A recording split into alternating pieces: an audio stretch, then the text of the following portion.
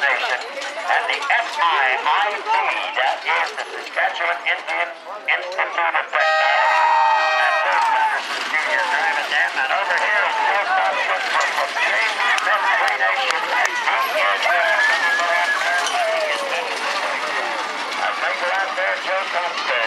Uh, inside with a short way to go.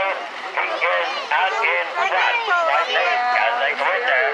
He has about two horse lengths in front of the Larry Arcand team. He the James Smith Cree Nation as his sponsor. Behind him is Larry Arcand with Blue Gas in Saskatoon. Uh, the SIIT and the Muskeg Lake First Nation. The G-Bound G Livestock Motor Buyers are in third. That's the Sugar And they also have the Prairie View Trucking on the back of the wagon. They are all bunching together into that third turn. Let's see who's got the power. This is a big long track, 55 eight of a mile, and it is having an effect on a lot of our horses. Let's see who's got the power to come home here. Here comes the Sugar team right through the middle, and he is going to go